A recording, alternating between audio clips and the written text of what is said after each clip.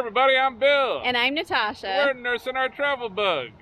This behind us is the one and only RV of One Strange Adventure. They got a very special guest helping us out with this episode, but this is all about Grand Design's Momentum. 399 THR. I'm Bill from Nursing Our Travel Bug. I'm six foot ten. I'm six foot ten. Most people aren't six ten. I'm six ten. Most people aren't that tall. I'm six foot ten. Have I mentioned that? So the whole point of these videos is to find out will I fit? Will I fit? Will I fit? Will I fit? Will I fit? Will I fit? We are on a mission to find that perfect RV that will fit a big and tall person like myself. So chances are if I fit, another person that's tall will fit as well. Had the pleasure of meeting the Stranges last year, and they're just the best people. We love their YouTube channel, and we know you will too. So make sure you head on over to YouTube and check out One Strange Adventure. They're also on Facebook, TikTok, and Instagram. We'll have all of the links down in the description. And while you're at it, if you're here for the first time, subscribe to our channel and ring that notification bell. We love doing these Will I Fit tours and we think you'll enjoy them too.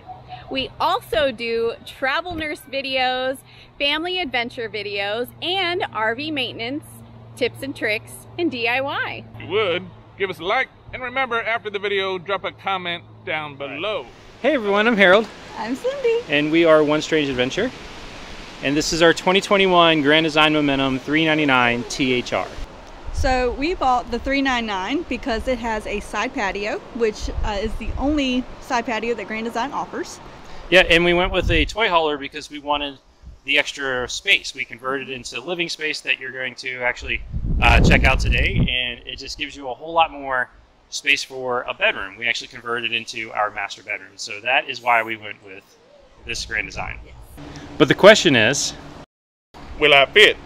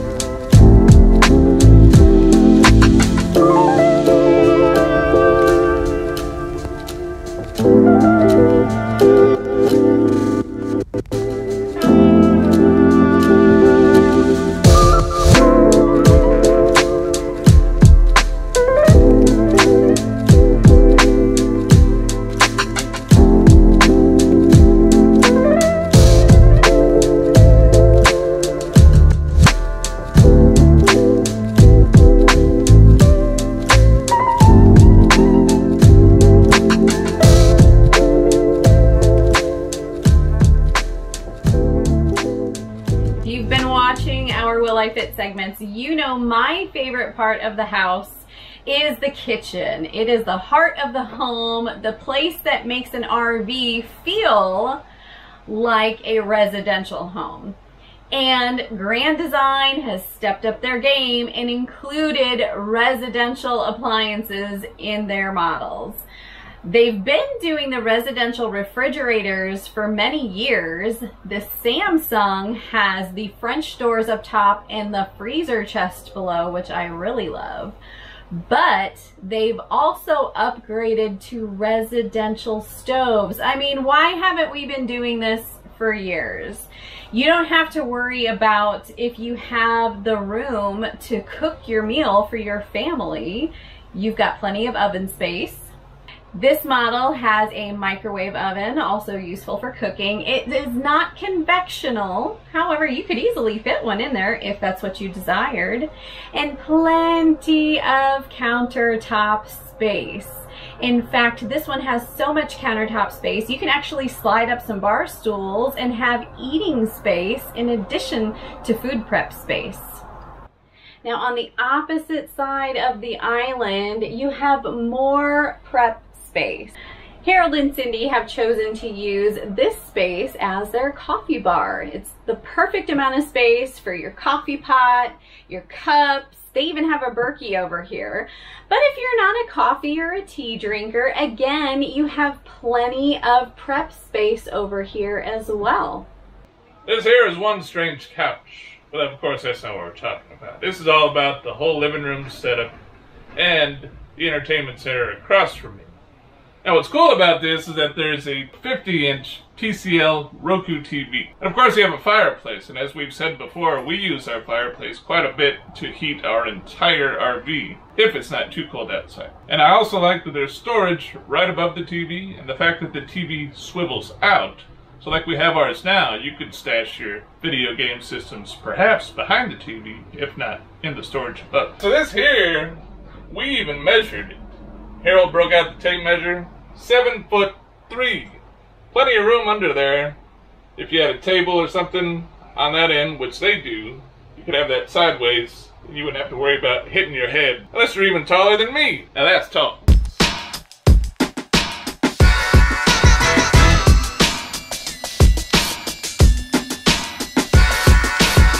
We're in a fifth wheel RV, so what do we have to do? The stair test. How many stairs can I go up till I start feeling the crunch?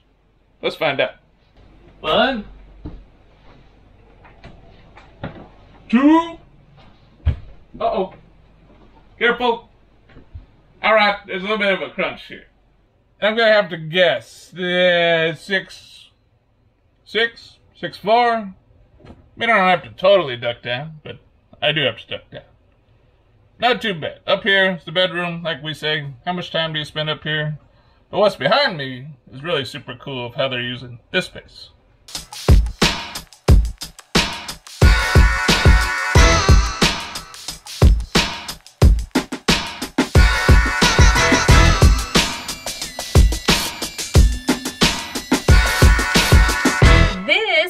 Traditionally the master bedroom. However, since Harold and Cindy changed the master to the garage space, this has become the kid space. So this is where the bed normally would have gone. So they kept part of the platform here for one child and they created a secondary platform over here. They were able to get a narrower twin mattress in so both of their kids can share this space and they have plenty of storage. They've got storage baskets down below and they still have the wardrobe across the way. So they have room to hang all of their clothes as well as four more drawers of, of storage space underneath. But wait, they still got more. They have five more cubbies of storage above where that master bed would go, as well as another storage cabinet down here.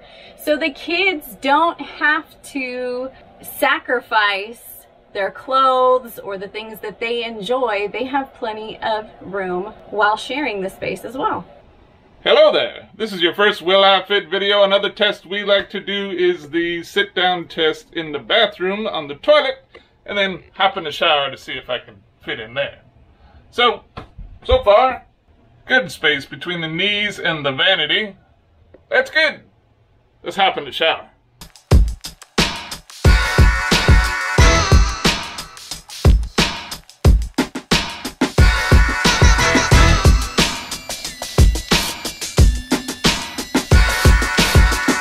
This here really isn't that bad. I feel like this is comparable to our shower, and I'm not even in the skylight yet. Now that I'm in here, I could go nuts. Ow! Of course, there's a shower head there. Now, if the skylight was back here a little bit more, I think it'd be perfect. Now this one here doesn't have a bench, but I feel like there's good space. And I'm a guy, I don't spend a ton of time in the shower. Thanks to Chief from Foreverland RV gave us a new idea. We're doing a washcloth test. I'm in the shower, drop my washcloth. Can I pick it up? Let's close the doors and figure it out. I got my washcloth. That test is a pass. I love the shower space and the toilet orientation in this bathroom.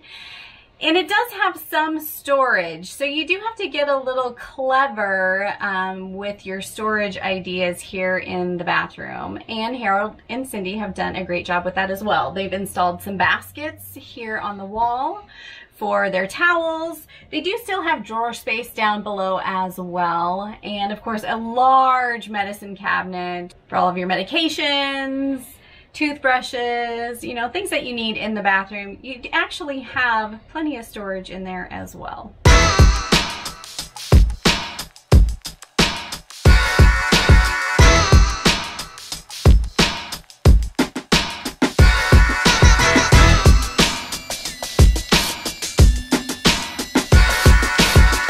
This here is the bedroom. This is where the strange magic happens.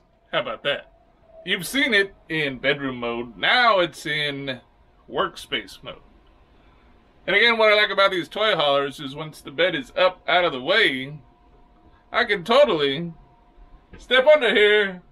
That was brave. I didn't even dip my head because I know I have the room. Now behind me is one of the things One Strange Adventure really loves about this rig, and that's the patio. Ooh! Yeah. Yeah! Look at this. I know what Natasha's gonna say, but I'll let her say it. This is definitely a perk to having the master be back here because this is your own private oasis. I can imagine myself having a lounge chair out here and waking up and drinking my cup of coffee before the rest of the world wakes up. And it's got the awning.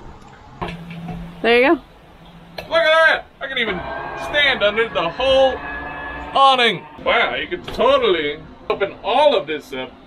But if you wanted to, you could just have it closed. Just slide the top panels down and have a breeze coming in. One of the things I love but also find a challenge is the actual garage space. So it's really meant for toys and you have to figure out how to make it feel homey. And they have done a great job of adding a big giant carpet here so that you've got that homey feel. It's also multi-purpose. As you've seen, it is their bedroom, it's their office, but it's also their laundry room. So you can have a stackable washer and dryer or an all-inclusive. It's got plenty of space for that. But where are you gonna put all of your stuff? In these toy haulers, you just have two cubbies up against the ceiling, and that doesn't offer a lot of storage. But Cindy and Harold have found some storage solutions that fit in the space so they can still have most of their items back here as well. Now here I'm under the loft, but behind me is one of the tests I like to do, and that's the bathroom. I'm gonna go sit on the toilet.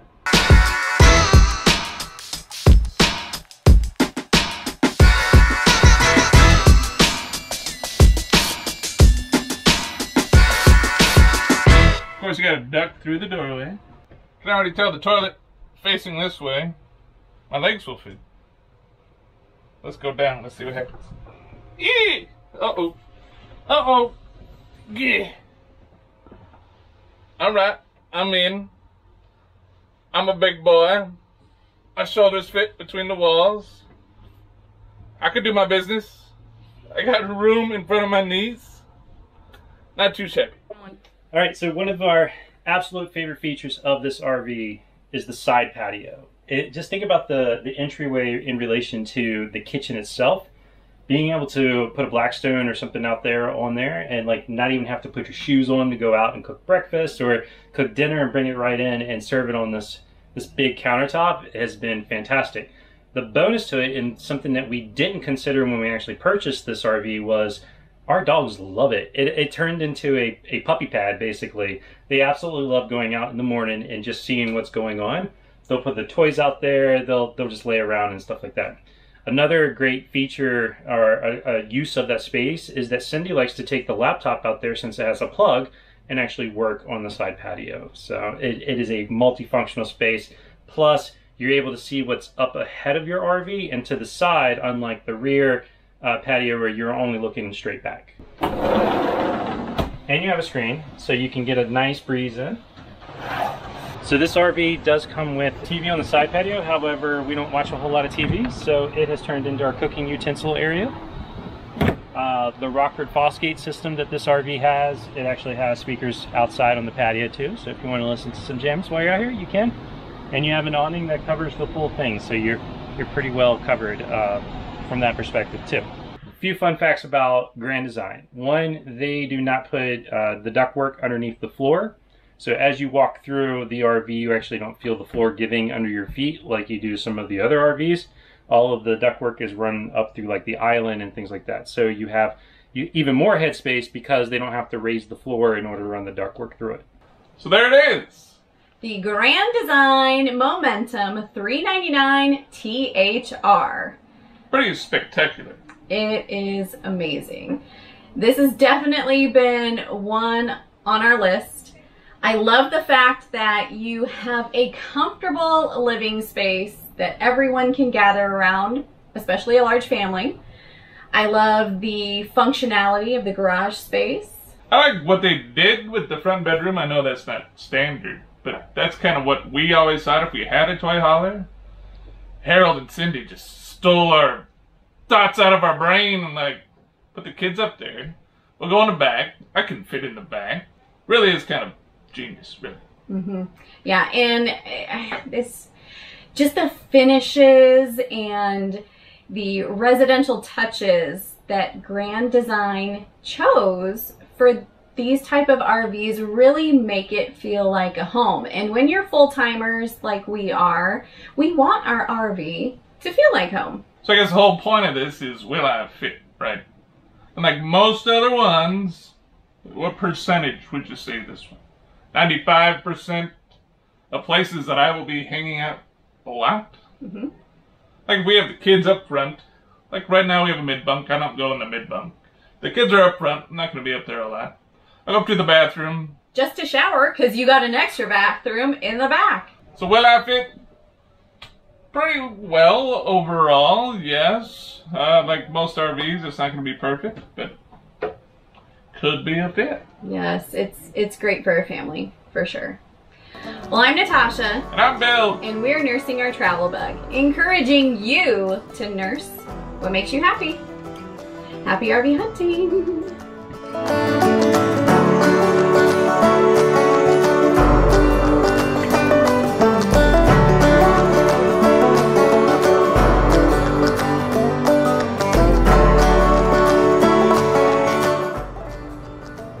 in the One Strange Adventure RV. Natasha's uh, over there somewhere. Where is it? Find it. Come. I can't. Where's my Getting cramps in my calves.